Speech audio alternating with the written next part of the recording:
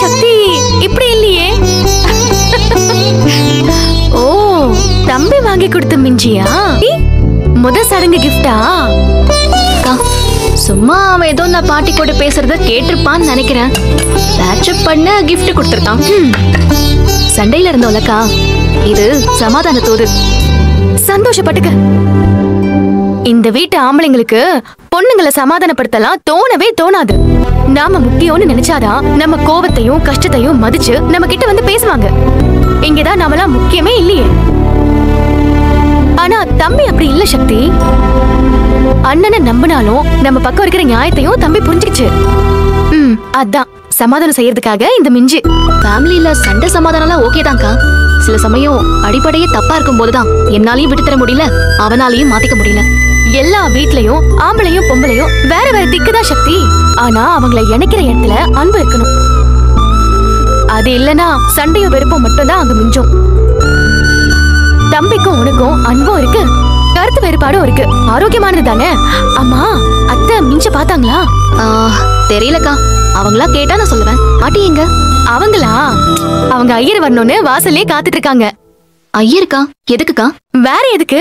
உனக்கு தாலி சேர்க்கணும்ல? அதுக்குதான். வேலு கையால புது தாலி வாங்கிக்க வேண்டாமா? அதுக்குதான். பாட்டி நாள் குறிக்க போறாங்க. என்ன சக்தி? தலை குனிஞ்சிட்ட? அப்படிலாம் இல்லக்கா. கல்யாணத்தப்ப கூட நான் தாலி கட்டிக்கிறதெல்லாம் எதிர்பார்த்து செய்யல. இப்போ வேற மாதிரி ஃபீலா இருக்கு. நீங்க சொல்றப்போ சக்தி வெக்கலாம் வருதா? அப்போ வேலு சக்தியின் முறையான கல்யாணம் அப்படின்னு அறிவிச்சிருவோமா? அக்கா கிண்டல் பண்ணாதீங்க. ஏய் சக்தி நிஜமா தான் சொல்றேன் அப்பெல்லாம் உனக்கு தம்பிய பிடிக்காது. விருப்பமே இல்லாம தான் கல்யாணமே நடந்துச்சு. தம்பி தாலி கட்டுறப்பவே உனக்கு கோவமா தான் இருந்துக்கும் இப்ப நீ தம்பிய லவ் பண்றல மிஞ்சிலே உன் சந்தோஷம் பயங்கரமா தெரியுது. அப்ப தாலி கட்டினா எப்படி இருக்கும்? இந்த விசேஷம் எல்லாருக்கும் வெறும் தாலி பிரிச்சு சேர்க்கிற விசேஷம். ஆனா உனக்கும் தம்பிக்கும் மட்டும் மனசுக்கு பிடிச்ச பிறகு நடக்க போற கல்யாண வைபோகம். அப்படியே நினைச்சுக்க. அப்பதான் சக்தி மேரேஜுக்கு வெயிட் பண்ணா என்ன ஃபீலோட இருப்பாளோ அதே ஃபீலிங்க இதுலயும் என்ஜாய் பண்ண முடியும். ஓகேவா சக்தி? சக்தி எதுவும் யோசிக்க வேணாம்க்கா நடக்கிறது நடக்கட்டும். ஆனா வேலு கேட்டான்னா அவன் கால் தரையிலேயே நிக்காது. அவன் அவ்வளோ எமோஷனலா இருக்கான்க்கா ஆ வணக்கம் வணக்கம். சொல்லுங்கம்மா. இப்போ உங்களை எதுக்கு வர சொன்னேன்னா தாலி சேர்க்கணும். நீங்க தான் நல்ல நாள் பார்த்து கொடுக்கணும். ரெண்டு ஜோடிங்களுக்கும் ஒண்ணா தாலி கோக்குற சடங்கு பண்ணணும். அதுக்கேத்த மாதிரி நல்ல நாளா பார்த்து சொல்லுங்க. தேனு அது கொடுமா? கொடுங்க அதுல பிள்ளைங்களோட கல்யாண தேதியும் பிறந்த தேதியும் இருக்கு. பேஷா பாத்துடலாமா சரிங்க. உட்காந்து பாருங்க. வேலு சரிதானப்பா? உட்கார். ரெண்டு ஜோடிகளுக்கும் நாளைக்கு நாள் நல்லா இருக்கு. நாளைக்கே விசேஷத்தை வச்சுக்கலாம். தாலி சேர்த்தாதான் ஆம்பளைங்களுக்கு ஆயுசு கட்டின்னு அம்மா சொல்லுது. பசங்களுக்கு நல்லதுன்னா செஞ்சிட வேண்டியதானே அப்ப ரெண்டு ஜோடிகளுக்கு ஒண்ணா பண்ணிடலாம்னு சொல்லுங்க? அதேதான் ஐயா சிறப்பா பண்ணிடுங்க. தம்பதிகள் நல்லா வாழ இந்த சடங்கு ரொம்ப அவசியம். அதுவும் புருஷன் கையால. மருதாளியா இதை வாங்குறப்ப அந்த பொண்ணுக்கு கிடைக்கிற மகிழ்ச்சி இருக்கே அதுக்கு ஈடு என எதுவுமே இல்லை. ஐயர் சொன்னது புரிஞ்சுதா? ஆமா சாமி. இவங்க தான் வீட்ல எல்லாம். உங்க கேக்குறாங்க சொல்லிடுங்க. அது இல்ல அத்த. சக்தி வீட்ல தானே சக்திக்கு நடக்கணும். அத தெரிஞ்சுக்கலான்னு தான் கேட்டேன். இங்க பாருடி அதெல்லாம் நாங்க பண்ணிக்கிறோம். அவங்க வீட்ல என்ன விசேஷம் பண்ணிருக்காங்க இத பண்றதுக்கு? மா நாம அவங்களுக்கு செய்ய வாய்ப்பு கொடுக்கணுமா? எப்போ நம்ம விருப்பத்துக்கு தான் முடிவெடுப்போம் இதுல எது சரியோ அது பண்ணுங்க. சக்தி வீட்டுல செய்யணும்னா சக்தியோட விருப்பம் எதுவோ அதுபடியே செய்வோம்.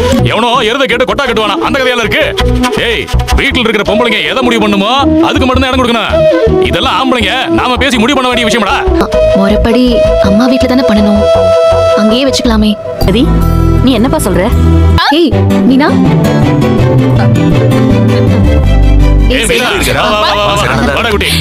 இப்பதான்டா உன்னை பத்தி நினைச்சிட்டு இருந்தேன். ரெண்டு பேரும் வந்துட்டீங்க. நூறு ஆயிசு வாங்க மாப்ள வணக்கம். எப்படிப்பா இருக்கீங்க? நல்லா இருக்கேன். நீ எப்படி இருக்க? நல்லா இருக்கேன்ப்பா. ம். என்னம்மா? என் மேல இன்னும் கோவமா? என்ன வானு கூட கூப்பிட மாட்டியா? உன்னை பக்கம் தானே வந்தேன். உனக்கு என் மேல எவ்வளவு பாசம்னு எனக்கு எப்பவோ தெரியும்டி. அம்மா எனக்கு உசுர கொடுத்ததே நீதானம்மா? ம், ம். நான் ஏதாவது அதிக பிரசங்கித்தனமா இந்த மீனா பண்ணியிருந்தாலும் நான் உன் பொண்ணு தானம்மா? காக தேடி புடிச்சு கல்கத்தா ரசகுல்லா வாங்கிட்டு வந்திருக்கேன். பாருமா நீ பேசல. அவ்வளவுதான் சொல்லிட்டேன். ம், என்ன? உன் மாமியார் வீட்டுக்கு போயிடுவ? அதானே? தெரியும்டி. அம்மா இல்லம்மா. நீ தான் எனக்கு முதல்ல. அப்புறம் தான் மத்ததெல்லாம். அத்தை நைட்டு கனவுல கூட அம்மா ப்ளீஸ் அம்மான்னு அணத்துக்கிட்டே இருந்தா. அதான் கூட்டிட்டு வந்தேன். அவளை பத்தி உங்களுக்கு தெரியாதா அத்தை? ம். என் பொண்ணு பாசக்காரி தான் மாப்பிள சக்தியால தான் இவ அடிக்கடி மனசு மாறிக்கிட்டு இருக்கா. இவளுக்கு குழந்தை மனசு பாருங்க. என் செல்லம். இப்படியோ ஜோதியை சமாதானப்படுத்திட்ட. பின்ன ஏன் அம்மாவை சமாதானப்படுத்த எனக்கு தெரியாதா? என்னம்மா ஐயர்லாம் வந்திருக்காரு? எல்லாம் உங்களுக்கு தாலி கோக்குற விஷயம் தான் இப்பதான் ரெண்டு பேருக்கும் எந்த வீட்ல பண்ணலாம்னு பேசிட்டு இருந்தோம். அதுக்குள்ள நீயே வந்துட்ட. ஐயோ அப்படியா இதுல யோசிக்க என்னமா இருக்கு? நம்ம வீட்ல தானே தாலி பிச்சு கோக்கணும். எனக்கும் இங்க தான் நடக்கணும் சக்திக்கும் இங்க தான் நடக்கணும். இல்ல மீனா இதெல்லாம் அம்மா வீட்ல பண்ற ஃபங்க்ஷன் ம். உனக்கு இங்க பண்ணலாம். சக்திக்கு அவங்க அம்மா வீட்ல தான் பண்ணணும். ஏன் அத்தாச்சி? அப்படி எதுவும் சட்டம் இருக்கா என்ன?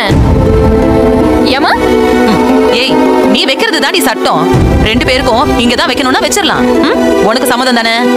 எனக்கு முழு சம்மதம்மா.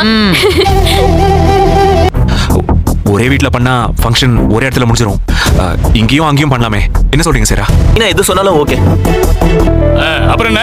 மாப்பிள்ளையே ரெண்டு பேருக்கு இங்கேயே பண்ணலாம்னு சொல்லிட்டாரு. நம்ம வீட்லயே ரெண்டு விசேஷத்தையும் சிறப்பா பண்ணிடுவோம். இதத்தான் நான் ஆரம்பத்திலேயே சொன்னேன். அதத்தான் மாமாவும் சொல்றாரு. ஆனா அத்தை. என்ன சொத்த? மீனா விருப்பம் என்னவோ அதுதான் நடக்கும். சக்தி இங்கேயே உனக்கு சம்மதம் தானேமா இல்ல மீனா சொன்ன மாதிரி ரெண்டு விசேஷத்தையும் ஒரே இடத்துல வச்சா ரெண்டு குடும்பமும் ஒன்னா விசேஷத்தை ஒரே இடத்துல பார்க்கலாம். நாங்க அங்க வரணும் அவங்க இங்க வரணும். நல்ல நேரம் போக வர ரொம்ப கஷ்டமா இருக்கும். அம்மா முடிவு பண்ணா முடிவு பண்ணதுதான் யாரோட அனுமதி இங்க அவசியம் கிடையாது. ஆ? ஐயரே சொன்ன மாதிரியே பண்ணிடலாம். என்ன வாங்கணும் செய்யணும்னு ஒரு லிஸ்ட் கொடுத்துருங்க. அது மாதிரியே பண்ணிடுவா. அதெல்லாம் லிஸ்ட் போட்டு கொடுத்துட்றேன். நகை மாலை துணிமணி. தாலியில கோக்க உருப்படிங்கன்னு சகலமும் குறிச்சு தரேன். ஒன்னா போய் புடவை நகைலாம் எடுத்துட்டு வந்துடலாம். சக்தி நீயும் வேணும் சீக்கிரம் கிளம்புங்கம்மா. இதுக்கெல்லாம் நான் வரலப்பா. நீங்களே போய் வாங்குங்க. எனக்கு ஒர்க் இருக்கு. பாட்டி நீங்களே வாங்கிடுங்களேன். அப்போ சக்தியும் வேலும் மட்டும்தான் வராங்க. அப்படிதானே? நான் வரேன் பாட்டி. சக்தியும் வருவா. பொம்பளைங்க சமாச்சாரத்துக்கு நீ எதுக்கு போகணும்? நமக்கு வெளியில ஆயிரம் வேலை இருக்குடா. டேய் பொம்பளைங்க துணி கிடைக்கும் நகை கிடைக்கும் போய் பிடிச்சத வாங்கணும்னா நாம உழைக்கணும்டா. ஆ? வா வா. நாம பழப்ப பாப்போம் வா. தம்பி பாட்டி கூட போனா மொத்தமா சேர்த்து வாங்கிட்டு வந்துருவாங்க. பாட்டி ஏதாச்சும் மறந்துடுவாங்க தம்பியும் கூட போகட்டுமே. ரொம்ப அக்கறை தான் என் அத்தை காசிக்கே தனியா போயிட்டு வந்திருக்காங்க. இல்ல காப்பி குடிச்சிட்டே கொஞ்ச நேரம் ரெஸ்ட் எடுங்க. அப்படிங்கறதுக்குள்ள சமையல் ஆயிடும். குழம்புல போடுற காரத்துல இருந்து காதுல போடுற கம்மல் வர என்ன கேட்டுதான் செய்வா. சக்திக்கு இந்த புடவை நல்லா இருக்குல்ல? அதனால தான் சக்திக்கு இந்த புடவை செலக்ட் பண்ணி கொடுத்தேன். நல்லா கல்யாண பொண்ணு மாதிரி இந்த புடவை நகைலாம் போட்டு ஃபங்க்ஷனுக்கு சும்மா கும்முன்னு வர.